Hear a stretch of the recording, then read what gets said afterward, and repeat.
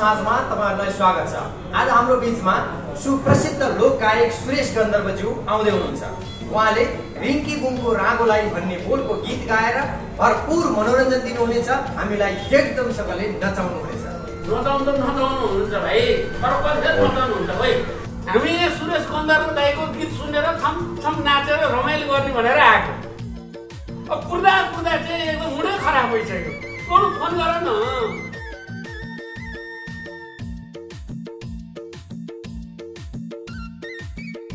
अहिले अस्वस्थ छु सक्दिनँ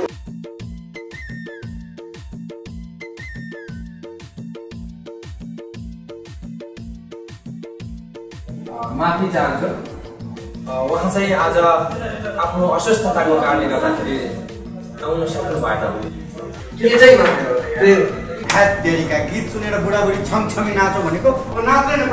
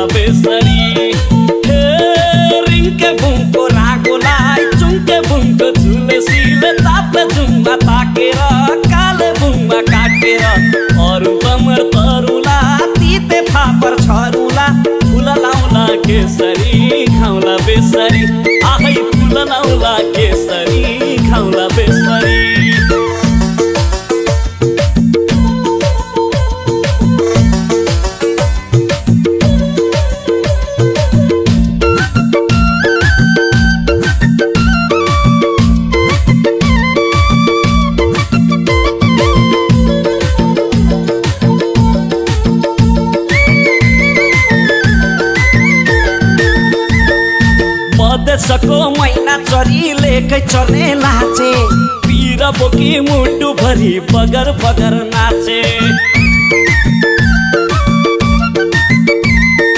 मधेसको मैना चरीलेकै चर्ने लाचे पिर बोकी मुटु भरि बगर बगर नाचे। आधा माया फुरमा सैभो आधा माया साँचे। त्यही मायालाई ठेगान लाउन आजसम्म बाँचे। हे बुङको रागोलाई चुङ्के बुङको चुलेसीले ताप्ले झुङमा ताकेर काले बुङमा काटेर अरू कमर तरुला तिते फापर छरुला फुल लाउला केसरी खाउला बेसरी आहै फुल लाउला केसरी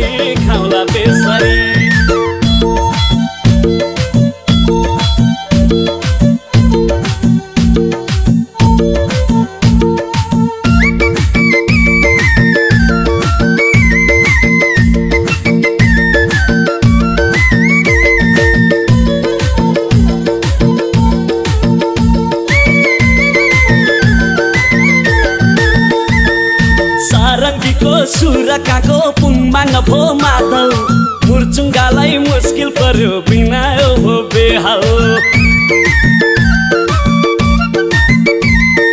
सारङ्गीको सुरकाको पुङमाङ भो मादल। मुर्चुङ्गालाई मुस्किल पर्यो बिना हो बेहाल। चोलीको त चोलै उठ्यो फरियाको के हाल? दौरा भए स्वर्गवासी नर्क गए सुरुवाल।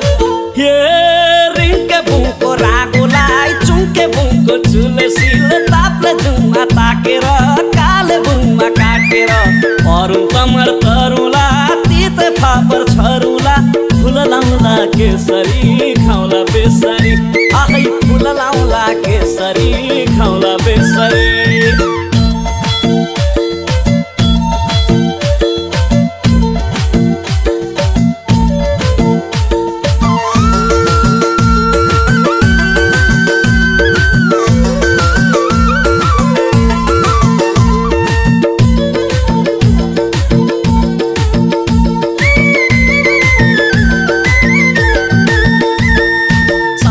झुटो धर्म कर्म मन हुन्छ दोमन पापी मन जति बन रुरु गर्छ झन्झन। ए साँचो झुटो धर्म कर्म मन हुन्छ दोमन पापी मन जति बन रुरु गर्छ झन्झन। एकैछिनको हाँसो रहेछ सय दिनको रोदन। पराया ज्यानको पैर मुनि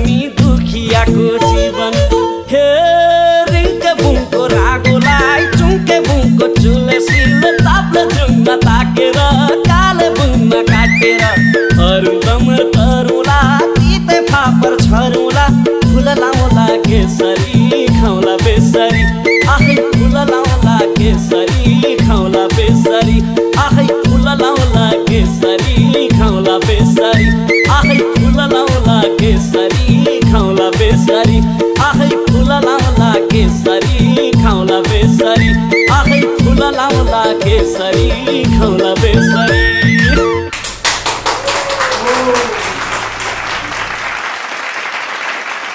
वाह रमेशजी। तपाईँले साँच्चै हाम्रो मन जित्नुभयो यो गीत गाएर। धन्यवाद सर। म खुसी भएर तपाईँको लागि यो पैसा दिँदैछु राख्नुहोस् माफ गर्नुहोला सर मैले यो गीत पैसाका लागि गाएको होइन गायक सुरेश गन्धर्वप्रतिको सम्मान र श्रद्धाले गाएको हुँ म यो गीत सुन्दै हुर्केको हो बाल्यकालदेखि नै तर सुन्छु यो गीत गाउने गायक सुरेश गन्धर्वको आर्थिक अवस्था पनि र स्वास्थ्य अवस्था पनि दुइटै असाध्यै खराब छ अरे त्यसैले प्लिज तपाईँलाई यो पैसा यदि दिने नै इच्छा छ भने मलाई होइन यो गीतका महान गायक सुरेश गन्धर्वलाई लगेर दिनुहोला